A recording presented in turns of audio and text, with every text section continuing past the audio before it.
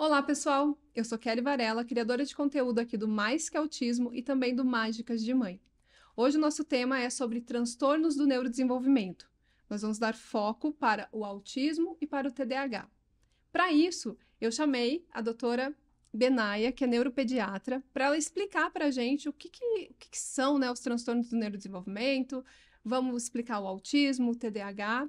E antes de a gente começar, eu quero já pedir, agradecer, né, em primeiro lugar, pela doutora Benaia estar tá aqui, é, por ter aceito esse convite. Eu vou deixar aqui na descrição é, o arroba do Instagram para vocês procurarem é, Pequenos Neurônios. Isso. Isso, né? Uhum. E aí eu vou deixar aqui, porque tem um pontinho ali, tá, gente? Para vocês poderem achar certinho. E obrigada por estar tá aqui e passar para você primeiro se apresentar, né? Falar um pouquinho aí do seu trabalho. Obrigada pelo convite. Então, eu sou Benaia, sou neuropediatra. É, e eu comecei a me interessar pelo autismo um pouco antes de começar a neuropediatria. Eu, quando eu comecei já a pediatria, eu já gostava de autismo e transtornos de neurodesenvolvimento. Aí na neuropediatria só o amor aumentou, então aqui estamos. É, então, respondendo já a questão do que, que, são os transtornos de neurodesenvolvimento. São condições, então não são doenças, que você tem atrasos ou comprometimentos do desenvolvimento que se iniciam bem, bem precoce. Então, geralmente iniciam as características, você consegue perceber antes daquela pessoa entrar na escola.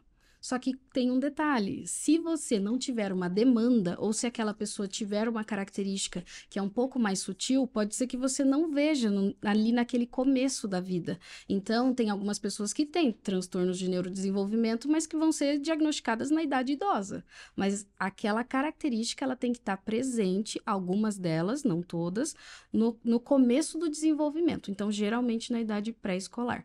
A gente tem vários transtornos de neurodesenvolvimento, então tem o TDAH, que é o transtorno de déficit de atenção e hiperatividade, tem o transtorno do espectro autista, tem deficiência intelectual, transtorno opositivo desafiador, tem vários transtornos e cada um com as suas particularidades, mas todos eles têm que ter então algum comprometimento no desenvolvimento iniciado bem precocemente. Isso é bem bom a gente falar, né? Porque hoje nós temos muitos adultos que estão recebendo realmente o diagnóstico e aí as pessoas falam: ah, mas será que você nunca percebeu?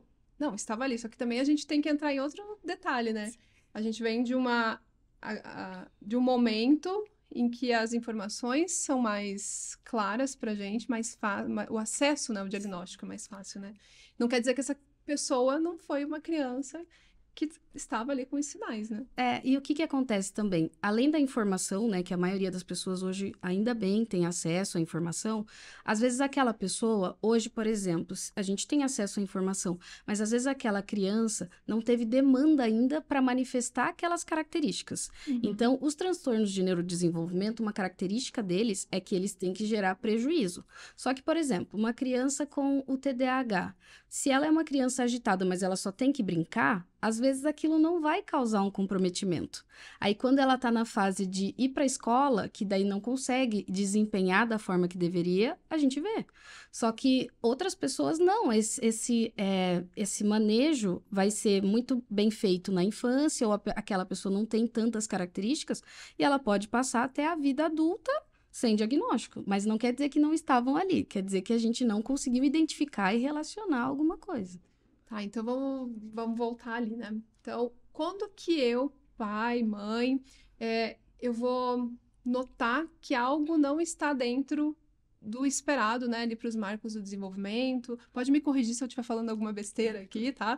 É, quando que eu vou observar que, que sinais que eu tenho que dizer, ó, levar para o pediatra ou levar para um especialista, né, em, nessa área? Então, assim, a gente pode ver é, características. Tem pessoas, então, com transtornos de neurodesenvolvimento que já na gestação a gente vai ver. Por exemplo, se é uma criança com a trissomia do 21, com a síndrome de Down, que era o nome antigo. Essa criança, às vezes, ela pode ser diagnosticada na gestação. E a trissomia do 21, ela é muito associada à deficiência intelectual. Então, se aquela criança foi identificada na gestação, você já vai ficar acompanhando. Então, tem algumas condições que você fala, puxa, essa síndrome, que daí não é um transtorno de neurodesenvolvimento, ela é muito associada a um transtorno de neurodesenvolvimento. Então, aquela criança já vai receber uma estimulação precoce. Mas vamos supor que ela não foi identificada na gestação. É, você, a criança nasceu, então o pediatra vai examinar andar, ver se não tem nada de diferente ali quando você examina. Se o tônus, então a postura daquela criança é adequada, se a musculatura dela é adequada, se tá tudo tranquilo. Então, ali no exame inicial pós-nascimento. Se tiver tudo bem, a criança então, o desenvolvimento ele tem alguns marcos e a criança tem que obedecer esses marcos. Então, quando o pessoal fala assim, cada criança tem seu tempo. Ai, meu Deus. Então, assim, cada criança tem seu tempo é uma verdade parcial. Então, veja, tem crianças que vão andar com nove meses e outras que vão andar com um ano e seis. Mas, assim, passou de um ano e seis meses e não andou, tá atrasado. Então, veja, quando a criança tá ali com um ano e cinco e ainda não faz menção de andar, poxa, vamos dar uma olhada com mais calma. Então, assim, essa questão de cada criança tem seu tempo tem que ser olhado com muita cautela.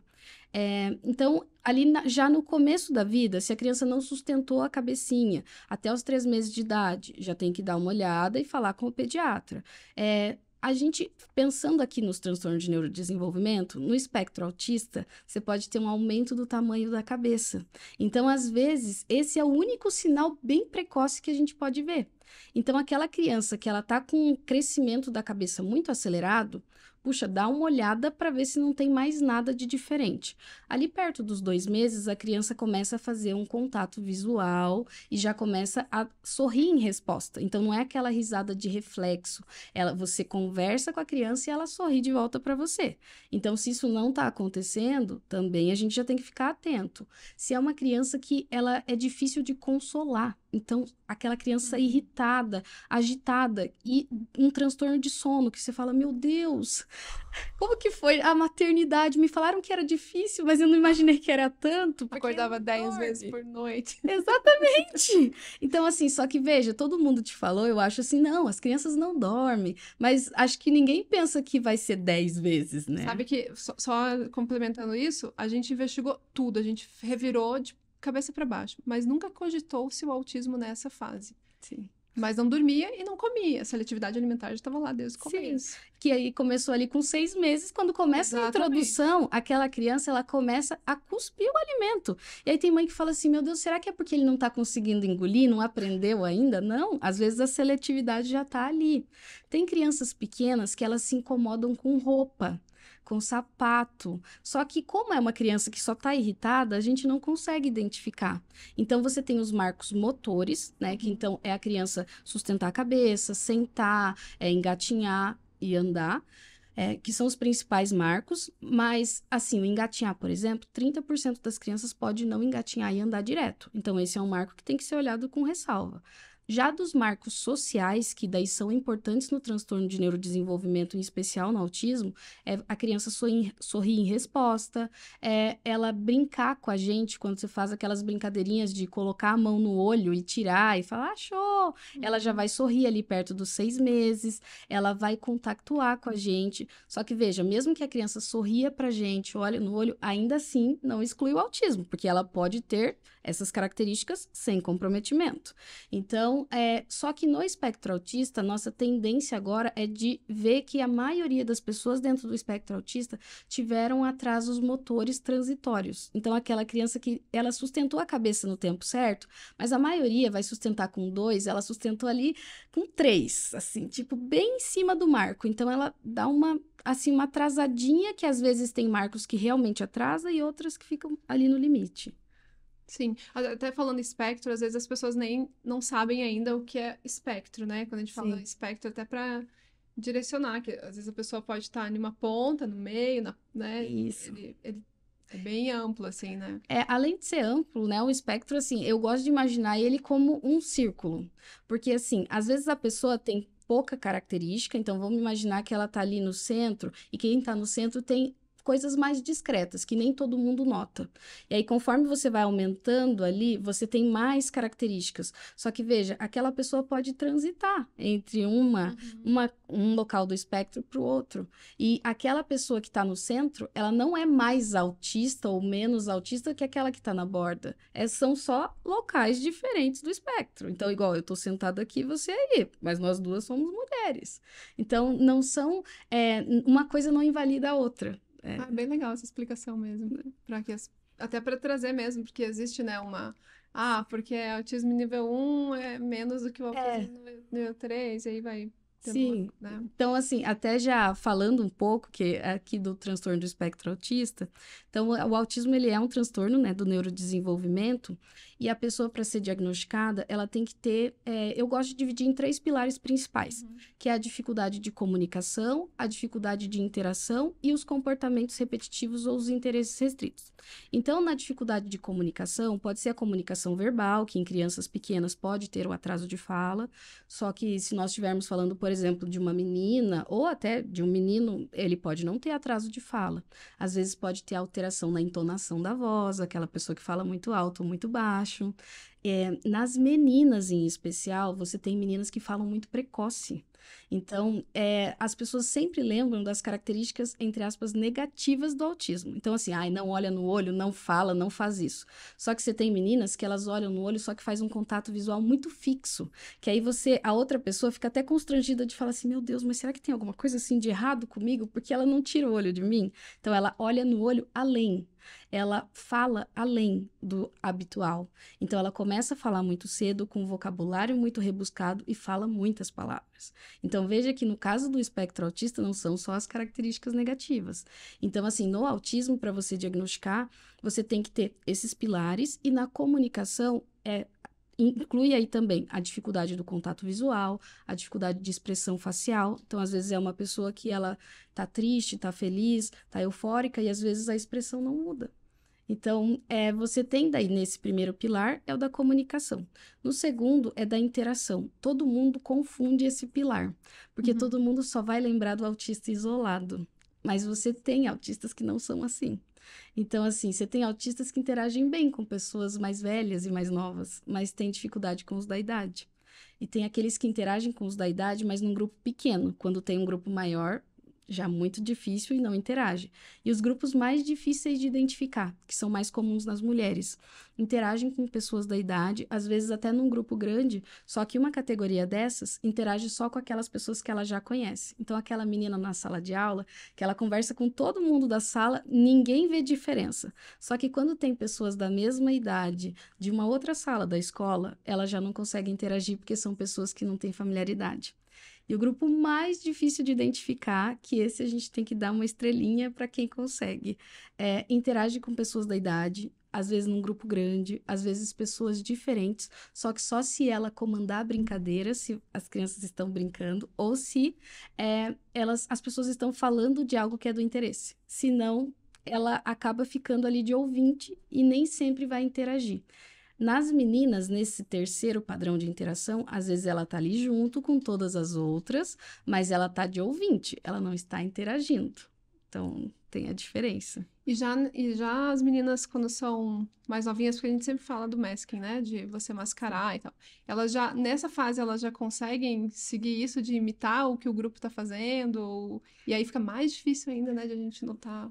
Sim, então o masking, né, que é a camuflagem, é, a, é- a gente define assim como imitar características neurotípicas. Então, neurotípicas são pessoas que não têm é, nenhuma neurodiversidade. Então, é, dentre as neurodiversidades, a gente pode citar o autismo, o TDAH, superdotação.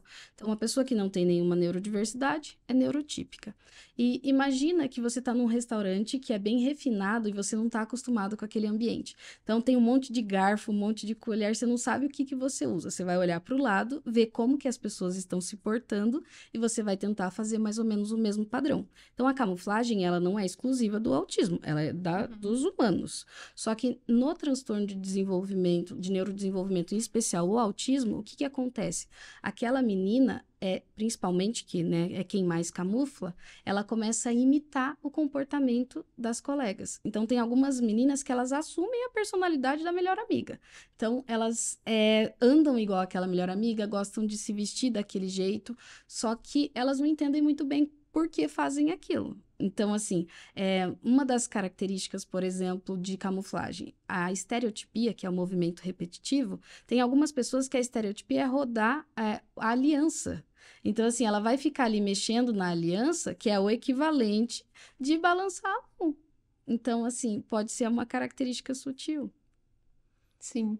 Esse seria o terceiro ponto que você falou, é, é nas estereotipias. Exato, que daí você entra, além das estereotipias, você tem então os movimentos repetitivos, né, as estereotipias, e os interesses restritos e os comportamentos repetitivos.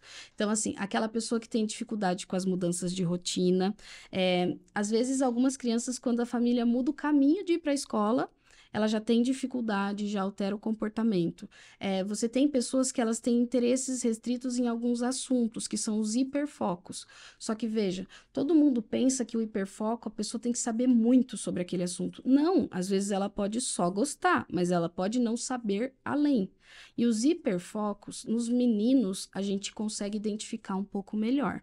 É, porque são hiperfocos mais diferentes, assim, tipo dinossauro, buraco negro. Fundo do mar. É, exato, fundo do mar. Então tem algumas coisas mais diferentes. Nas meninas, geralmente os hiperfocos são mais sutis, porque eles são mais parecidos do, com coisas que as meninas da idade também gostariam. Por exemplo, pônei, é, sei lá, unicórnio princesas. Às vezes elas têm hiperfoco em pessoas, que é muito difícil de diagnosticar, porque pode ser um hiperfoco em um ator, mas pode ser um hiperfoco num amigo, na mãe. Então, Ai, assim, tinha muito como, isso né? pessoas.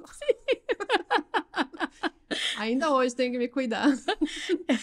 e, e, assim, o hiperfoco em pessoas é engraçado porque a, a pessoa não vai perceber, né? Aquela pessoa que está ali sendo a que tem o hiperfoco. Mas às vezes a pessoa que é o alvo do hiperfoco, se for alguém próximo e conhecido, ela vai ficar às vezes constrangida. Uhum. Então, assim, aí algumas pessoas falam: ah, porque é, ela não sai de perto de mim. E a menina, que às vezes é aquela que tem o hiperfoco, ela nem percebeu. Então, tem essa particularidade. Sim. Identificando coisas. Mas, e aí, assim, eu como mãe, eu, no, eu, às vezes não é nem os pais que vão notar isso, né? Porque às vezes, principalmente, eu acho que se for o primeiro filho, existe uma dificuldade também de você notar o que que tá dentro do desenvolvimento ali esperado e o que que não tá, né? Hum. É, eu notei alguns sinais, eu procuro um neuropediatra. E aí, como que é feito isso? Como que eu vou saber, ah, então é autismo? Como que o neuropediatra vai fazer isso? Existe um exame para autismo que é, que demonstre, né, que a criança, assim como na síndrome, síndrome de Down, que você consegue perceber. No autismo existe algo. Então, assim, ó, é, se os pais notaram alguma coisa diferente, o ideal é que cada criança tenha um pediatra de referência. Então, é, aqui no Brasil, desde 2013, a gente tem é, uma regulamentação da Sociedade Brasileira de Pediatria que os pediatras façam uma triagem para o espectro autista entre 18 e 36 meses. É. Só que a gente sabe que nem sempre eu, eu, sou pediatra antes de ser neuropediatra. Então, assim, eu sei que às vezes os meus colegas nem sempre fazem, mas o ideal é que faça. Então, Hoje aqui a triagem que a gente usa chama MChat. Então, os pais que quiserem procurar, tem na internet.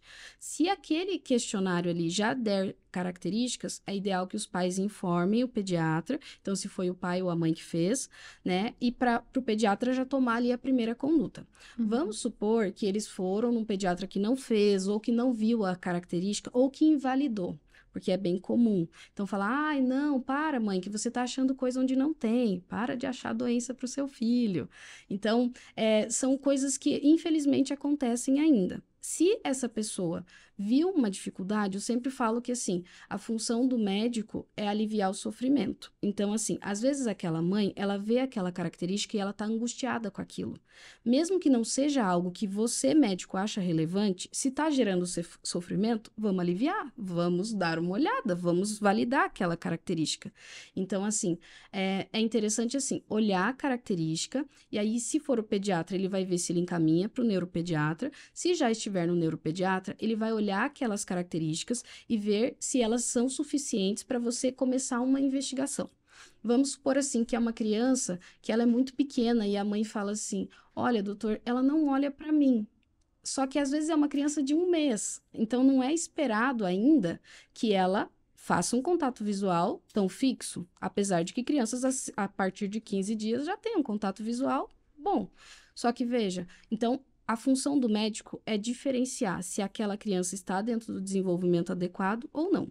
Se ele viu que não está dentro do desenvolvimento adequado e acha que pode ser o transtorno do espectro autista, então ele vai tentar preencher aqueles critérios que eu falei, da dificuldade de comunicação, de interação e os comportamentos repetitivos e os interesses restritos. E eu esqueci de falar das alterações sensoriais, que uhum. entram ali no terceiro pilar, que é aquela pessoa que pode se incomodar mais com luz, barulho, cheiro, é, roupa, sapato, cortar unha, cortar cabelo, encostar em alguma textura.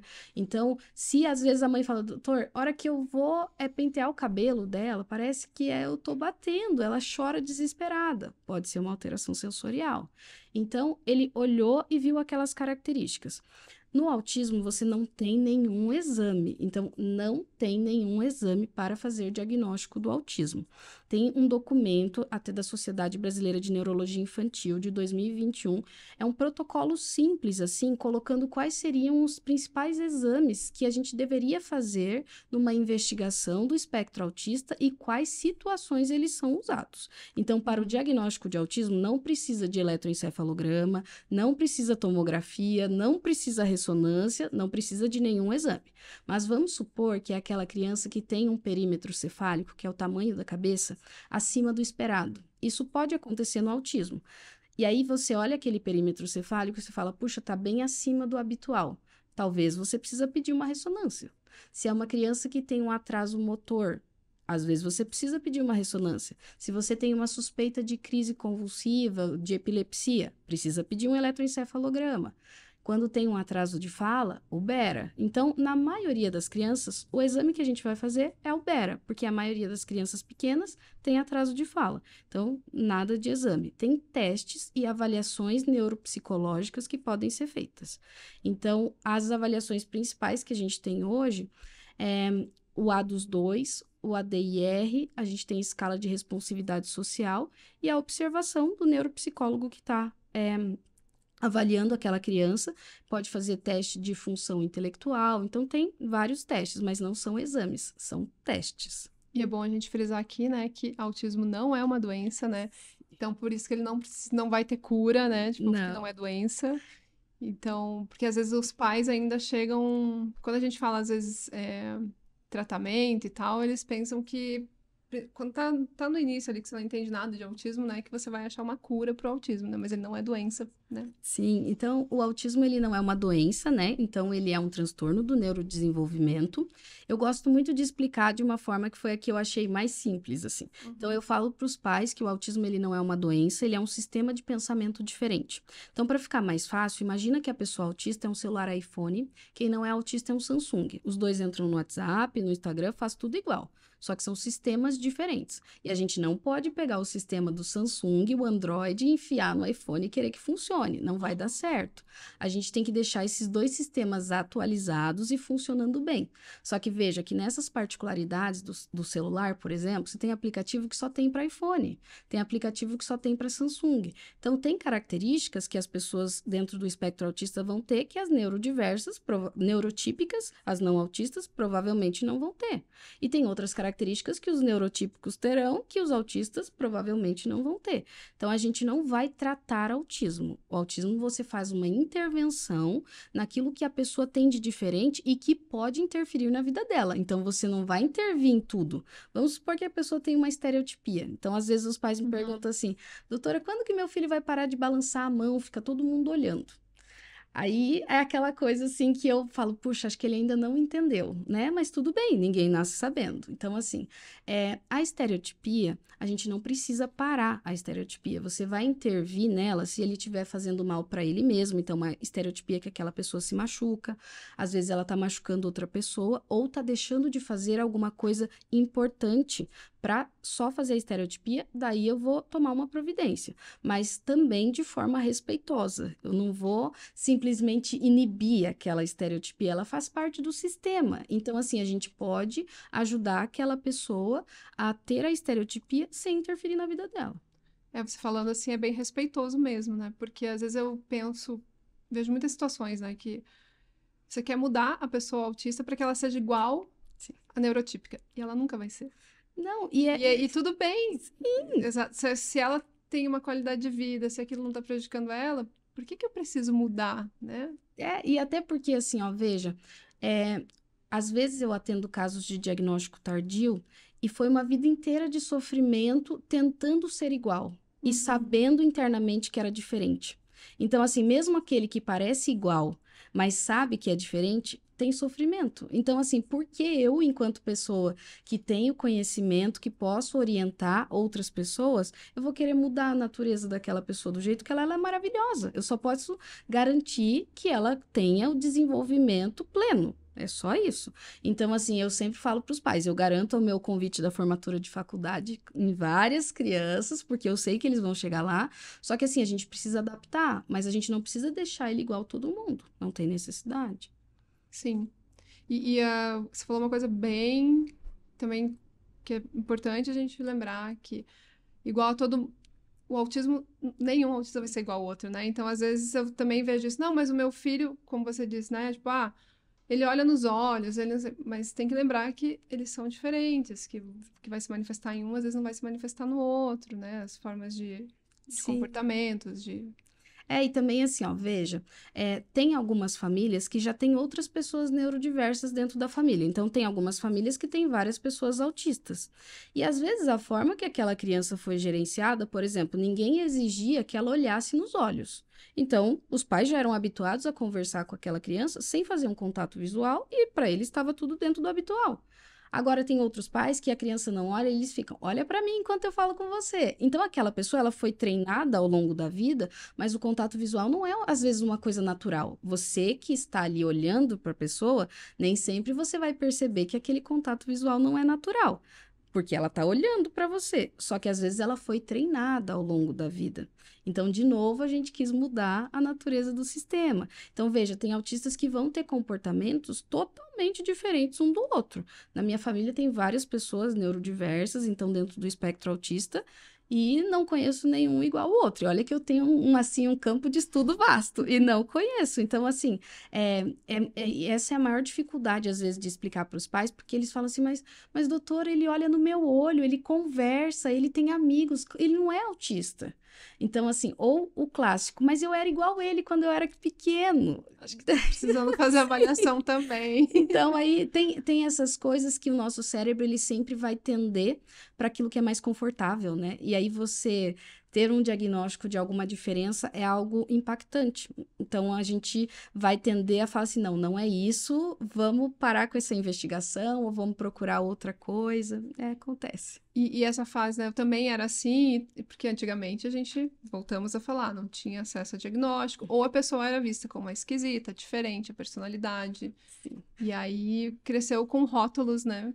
Sim. Então, ah, porque assim, ó, aí já falando até um pouco das pessoas do diagnóstico tardio, às vezes aquela pessoa, ela era diferente, só que, é, falando especificamente do diagnóstico do autismo em meninas, as meninas podem ter um comportamento completamente diferente em casa e fora de casa. É isso, isso eu nunca tinha ouvido. E eu, eu vi um vídeo seu falando disso e eu falei, nossa, primeira vez que eu, é, primeira vez que eu vi isso, assim, que cai. É, É, e aí assim, ó, a gente, o nosso conhecimento do autismo em mulheres, ele começou a aumentar agora nos últimos 3 a 5 anos, porque as mulheres autistas começaram a fazer estudos, porque até então, assim, a gente tinha pesquisas muito, muito, assim, é, triviais, uma coisa que não, não nos dava material para estudo adequado. E aí essas mulheres viraram então cientistas, pesquisadoras, e as características que a gente vê, então, no diagnóstico das mulheres é, é totalmente diferente dos homens, né? O autismo das mulheres é diferente dos homens. E uma das coisas é assim, aquela mulher, ela é camuflada fora de casa. Então, assim, às vezes a escola fala, não, aqui ela não tem nada. Só que, veja, se ela tá sentadinha ali no canto dela, não tá se pronunciando, então ela não é uma criança que, entre aspas, incomoda. Logo, ninguém vai notar. Então, ali, teoricamente, ela não tem nada. Só que aquela menina, às vezes, ela socializou, ela interagiu, fez tudo igual todo mundo. Só que quando chega em casa, ela chega sobrecarregada. Então, às vezes, ela chega irritada, ou ela chega muito cansada, com muita dor. Tem várias meninas pequenas que têm dor de cabeça, têm dor no corpo inteiro. Elas falam, ai, meu olho dói o tempo inteiro. E ela tá com uma sobrecarga. Então, ou uma ressaca social, que ela interagiu, fez tudo certo, só que o corpo cobra o preço, entre aspas, depois, ou uma sobrecarga sensorial, foi para a escola, tinha um monte de luz, cheiro, barulho, mas ali ela estava certinho, comportada, tudo dentro do padrão. E aí, quando chega em casa, tem essa. É, é, eu falo que o balde enche fora e ele derrama em casa. Porque às vezes aquela menina é muito irritada em casa, ela pode até ser agressiva, e a, as famílias me pedem ajuda e as escolas falam que não tem nada. Porque a escola vê um lado e a família vê outro. É. Eu, sobre, e sobre isso que você falou também de. É, agora que a gente está começando a estudar sobre autismo, eu vi uma, uma vez uma palestra de uma senhora já, uma senhora. E aí ela estava falando justamente disso, ela é cientista também. Ela falando que antigamente os estudos científicos nem, nenhum era feito para as mulheres. Desde o teste para um remédio para o coração, para tudo, era sempre olhado para o homem. Então muitas questões é, da mulher foram né, deixadas mesmo de lado, assim. Né? E hoje a gente ainda tem essa dificuldade, porque assim, se você for ver, é nas questões ginecológicas, puerpério, é, parto, que são questões exclusivas femininas. Nas mulheres autistas, a gente ainda não tem dados confiáveis sobre isso. Então, assim, a questão menstrual. Agora que essas mulheres cientistas autistas estão começando a orientar nós profissionais e as famílias de como a gente pode explicar para aquela menina que existe a menstruação, como proceder. É, então, assim, só que veja, é, essas mulheres elas sofreram sem nenhuma orientação e a maioria delas sem diagnóstico. E o que, que acontece? Então, falando já um pouco em número, os homens eles são 10 vezes mais encaminhados para avaliação. Então já começa por aí. Então a gente já vai receber mais menino, porque as pessoas vão pensar mais quando vê no autismo quando vê um menino. Segunda coisa, a gente faz diagnóstico em média de quatro meninos para uma menina. Só que se a gente fizesse o diagnóstico correto nas mulheres, talvez esse número fosse de dois meninos para uma menina. É porque a gente não consegue identificar as características femininas do espectro autista. Então, conforme o conhecimento vai aumentando, você vai identificando essas características, vai abrindo um leque de possibilidades. Então, assim, é, hoje mesmo eu atendi uma menina que a, ela tá dentro do espectro autista e a mãe, ela falou para mim, doutora, hoje eu marquei a consulta no nome dela, mas eu quero falar. Eu falei, ah, é? Ela, é. Eu, assim, eu, eu pensei bastante, eu li as coisas que você me mandou e eu acho que eu sou autista. Aí eu comecei a conversar com ela. Ela é tem muita característica do espectro autista. Só que assim, ela ao longo da vida, ela foi invalidando, ela falava para alguém: "Olha, isso aqui eu faço, você acha que isso aqui é igual a todo mundo?" Daí a pessoa falava: "Não, você está inventando coisa". Então ela ia sendo invalidada. E ela uhum. nunca achou que ela poderia ser autista. Até a menina foi diagnosticada, já faz dois anos, e agora que ela falou assim: puxa, eu acho que talvez eu também seja autista. Então a luzinha acendeu ali, e agora que ela pensou na possibilidade, né? Então, por acesso à informação. A gente tem um longo caminho ainda para conscientizar, né? E para que mais estudos aconteçam, para que a gente fique sabendo mais ainda de como funciona, né? Sim. Dentro das meninas. É, daria pra gente ficar falando mais um monte de autismo. Sim, meu Deus, adoro. É, mas vamos falar um pouquinho também de TDAH. Sim. que também é outro transtorno que a gente vê muito hoje, né? O crescimento dos diagnósticos. E aí você falou também no começo que às vezes a criança não tem as demandas. E eu vejo que isso no TDAH é muito é presente mesmo, né? E às vezes é também confundido, né? Que essa criança às vezes acaba levando o diagnóstico de autismo também, não leva? Sim. Então, assim, ó, é, o TDAH, para a pessoa ser diagnosticada, ela teria que ter características, então, de impulsividade, é, hiperatividade, Hoje, a gente sabe que a, hiperati a hiperatividade tem em quase todas as pessoas com TDAH. Só que às vezes ela não é física, pode ser só mental. Uhum. Então, assim, e a desatenção? A desatenção é onde as pessoas confundem, porque todo mundo acha que a pessoa TDAH é desatenta em tudo, não consegue prestar atenção. Não é verdade. Ela é desatenta naquilo que o cérebro dela não acha interessante. Então, a pessoa TDAH consegue prestar atenção, mas não necessariamente naquilo que necessita ser feito. É, então, no caso do do TDAH, por exemplo, às vezes aquela criança pequena é uma criança mais agitada, é uma criança mais ativa, só que ela não teve nenhuma demanda, ela não precisa ficar sentada, ela pode ser agitada. Então, ela não vai ter nada que vai, é, que vai ter demanda. Então, a gente não vai precisar que ela corresponda. Quando ela entra na escola, por exemplo, que tem uma atividade que tem que ficar sentada, tem que esperar a professora chegar até a carteira. Aí é a hora que começa a ficar mais difícil. É aquela criança que tem dificuldade de esperar o outro falar, então interrompe no meio da conversa, ou tem dificuldade de ficar parada. Então ela às vezes está sentada, mas ela está mexendo o pezinho, está mexendo a mão, batendo o lápis na cadeira. Então sempre está fazendo alguma coisa. Ou se for uma pessoa com o padrão mais desatento, então a gente tem né, dois padrões principais, que seria assim, o, o hiperativo e o desatento. Só que aí você tem o terceiro, que é o misto, né? Que é um, um pouco de cada, o combinado. Então, assim, no padrão desatento, às vezes é aquela pessoa que é quietinha, ela é parada, só que ela sempre tá no mundo da lua, como a gente fala popularmente. Então, nem sempre ela tá atenta ao que está acontecendo ao redor. E a questão de confundir o TDAH com o espectro autista, então, assim, se você fala de uma criança muito pequena, é, no TDAH você também pode ter atrasos de fala, às vezes não são atrasos significativos, igual do uhum. autismo, mas você pode ter. É, as pessoas com TDAH podem ter alterações sensoriais, que não são às vezes tão intensas quanto o espectro autista, mas também pode ter.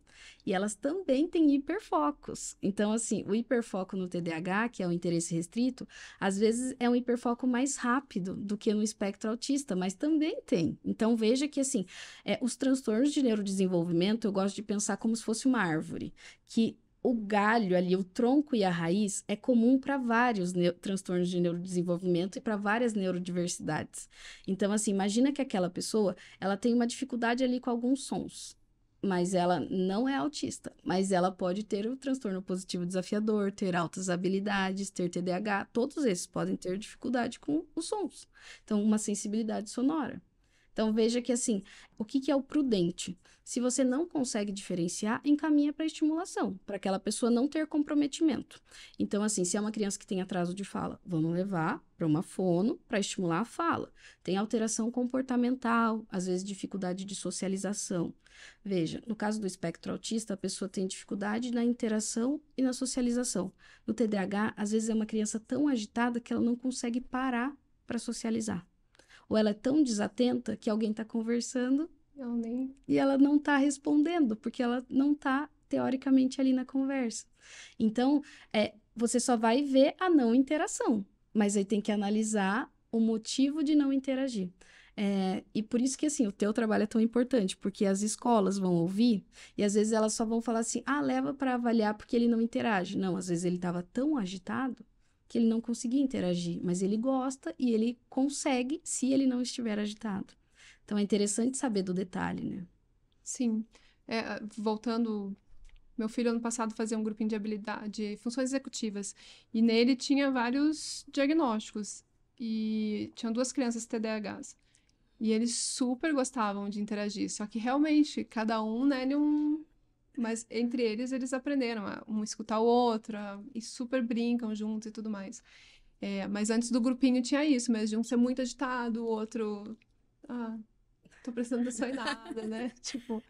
Mas essa parte também de socialização no TDAH, então também acontece, de elas também, às vezes, por conta disso, terem dificuldades Sim, elas podem ter dificuldade e às vezes assim, veja, o comportamento rígido, né, que é aquela pessoa que tem dificuldade de flexibilizar, é, pode ter tanto no TDAH quanto no espectro uhum. autista.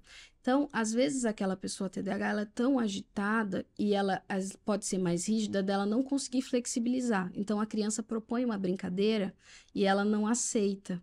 E aí isso gera uma dificuldade de socialização, mas ela de verdade gostaria de socializar e conseguiria se não fosse rígida. Então, é, no TDAH, a gente vê que a intenção social ela é um pouco diferente do espectro autista. Então, várias pessoas dentro do espectro autista, elas querem socializar e têm dificuldade, e eu tenho pacientes é, e tem né, descrições de pessoas que não têm intenção social, elas falam, eu não quero socializar, eu não gosto. E já nas pessoas TDAH, a gente, geralmente a gente não vê. Então, as crianças que têm dificuldade de socialização é porque elas têm é, uma dificuldade, mas não uma falta de intenção. E no TDAH, às vezes, a pessoa está banada, né? Assim, então, assim, ela chega quase atropelando. Aí, assim, bate no amigo sem querer, e aí o outro já fica chateado. Então, tem essas dificuldades. A gente falou de alguns sinais, acabamos falando de alguns sinais Sim. ali do autismo, né? E no TDAH, além da desatenção, então a gente tem hiperfoco também, desatenção. É. O que, que, mais assim que a gente pode é. colocar ali também pra gente ficar para ver as é. características. É. Então assim, sempre pensar naquela criança que é bem agitada e que aquela agitação pode comprometer a vida dela. Então aquela criança que você fala, puxa, ela não consegue sentar para ter uma refeição. Então, aquela criança que às vezes ela é tão desatenta que você dá um comando e ela não consegue seguir porque ela não prestou atenção. Então, você falou para a criança: vá no quarto e pegue uma toalha e os shorts. Aí ele volta no meio do corredor: que mesmo, mãe? Esqueceu.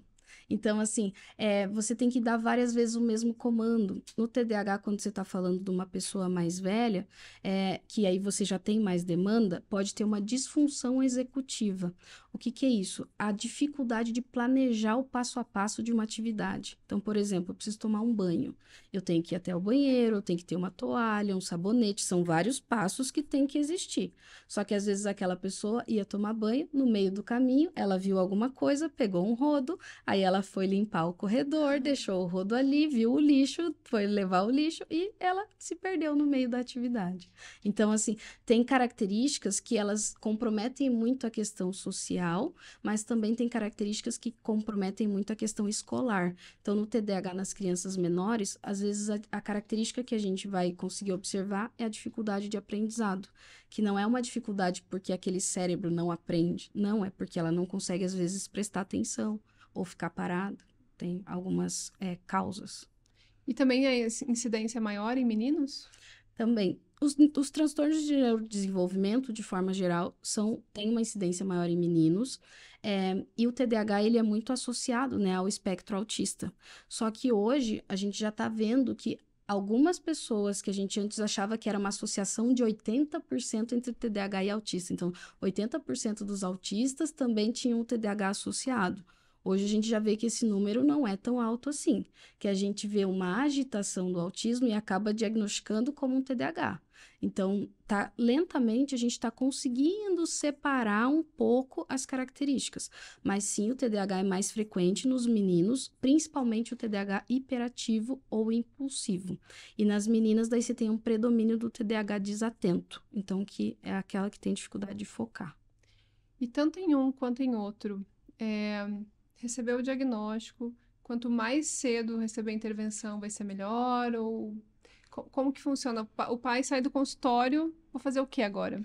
Então. Por que, que é a importância também de a gente falar das, das intervenções e para essa criança, né? Então, eu vou falar um pouco da intervenção no espectro autista, depois falo no TDAH. Então, no autismo, você diagnosticou, é independente se você diagnosticar ou não. Às vezes é uma criança muito pequena, então eu já, eu já atendi pacientes de seis meses com características do espectro autista.